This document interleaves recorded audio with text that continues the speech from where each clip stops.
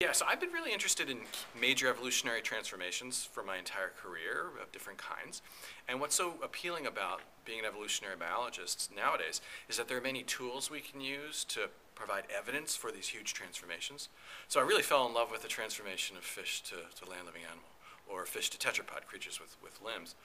Uh, for the simple reason is that we can go out and actually find evidence of this know, event that happened you know, over 375 million years ago.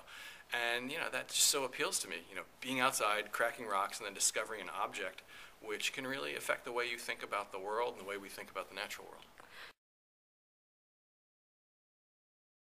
Yeah, this one, you know, finding uh, this fossil was, you know, six years in the making. We started it in 1998.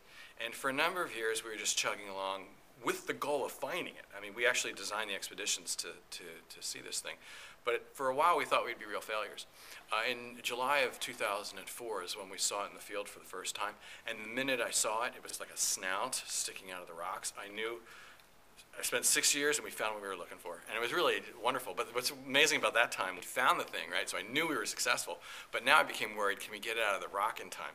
Because we only had a few more weeks up in the Arctic and it was a lot of work to get it out. So, um, but then, you know, coming home, there was so much discovery. You know, the preparators working in the laboratory, they do the hard work. You know, they sit there for days on end removing, you know, grains of rock, you know, with a needle under a microscope. And it was those folks who really made the huge discoveries. And that was happening over months, you know. Um, it was just a fabulous time. This was in 2005. Well, what's so important is it doesn't change our evolutionary story. I mean, and how it really confirms the evolutionary story we've been thinking about for a long period of time. That, you know, land-living animals share many similarities with certain kinds of fish. And not just any fish, certain kinds of fish. Those fish which have lungs and gills and other things. Um, so what this shows is a beautiful sort of transitional set of anatomical features of, you know, part of it looks like a land-living animal with a flat head with eyes on top, a neck, uh, portions of the, the fin. But it has a fin with fin rays, it has scales, so it's a real mix. And so the importance of the discovery is not only the fossil, because it, along with all the other fossils we know about, really tells a lot. It doesn't work alone, it works with all the other fossils that have been collected around the world. But the key thing is this is a story of discovery. It's a story of how the paleontological method, how we as paleontologists can go outside and make predictions about places to find fossils. And that's what science is all about, and that's what makes it so fun.